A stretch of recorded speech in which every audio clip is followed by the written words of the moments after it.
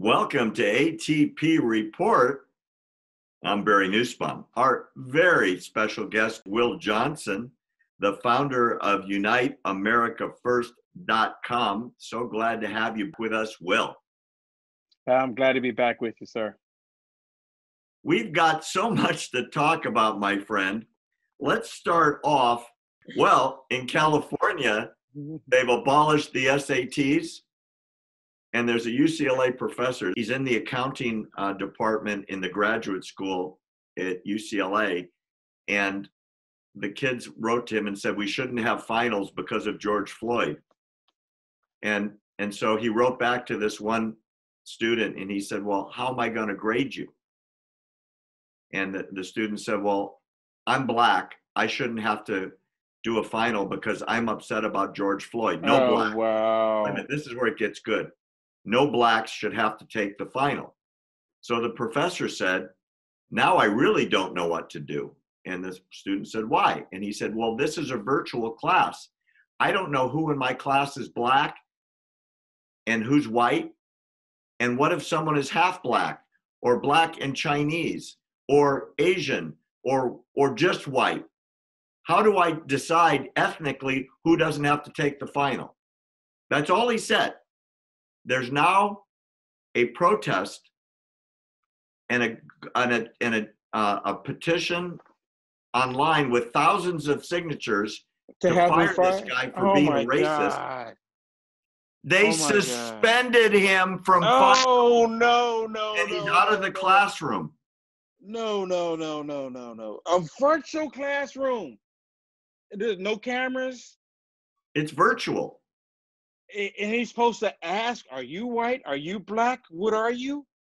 Oh my God! See, that just shows the insanity that we're living in. That is completely insane. Well, the guy was asking actually reasonable questions. Well, see, that's the problem. You can't ask reasonable questions any longer. You have to be like this stupid student. And this, and see, this, and it, the crazy thing is, he probably got that from another professor. Yeah, it's crazy, huh? It's sickening. The Anderson School of Business suspended this professor for his racist attitude. This is this is completely insane. And now they're protesting. You say they're protesting against him because he asked a simple question: How am I supposed to determine if they're white or black? And then they want to make sure that white people be able, have to take the test and black people don't.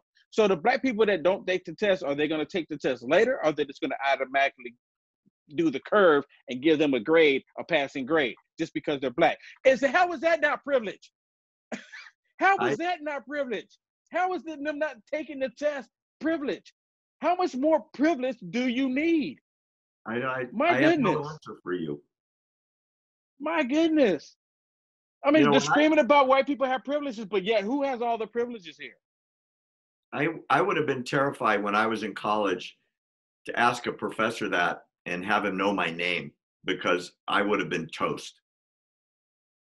You know, there's a lot of uh, professors right now. I yeah, I'm the same way. Especially the way I think now. If I were to go back, you know, just for any reason, go back to school and I'm have a professor, and a professor find out who I am, I'm pretty sure that I have to do extra, extra, extra credit just to get a D because they probably won't even like me the way I think because I'm not thinking about the whole liberal socialist communist way.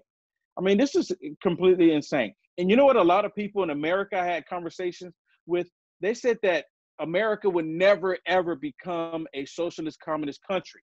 My goodness, we have one of the greatest presidents in our lifetime, my opinion, and we have a socialist communist agenda happening right before our very eyes. And that that whole socialist agenda is part of BLM and Antifa. They're all part of it, and they're trying to usher it in, you know, under the under the cloak of the Democrat Party. I mean, I call them Democrats. This this is my opinion on them, just because of the stuff they support. I'm not I'm not sure if you pronounced that correctly, but I won't correct you. No, I, I I I pronounced it correctly. It is it is the Democrat Party just because of what they support. Well, you're terrific. Tell people how they can find you, would you please? So if you want to find me for all of my social media, everything, just go to uniteamericafirst.com and you can find everything there. Thanks for joining us today. I really appreciate your time. Thank you.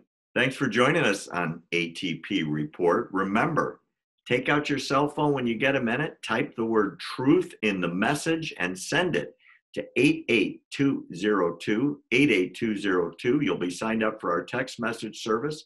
It's always free. You'll get our various episodes and all of our content on your cell phone, and you don't have to do anything other than look down in your hand. It'll be right there every day. For ATP Report, I'm Barry Nussbaum.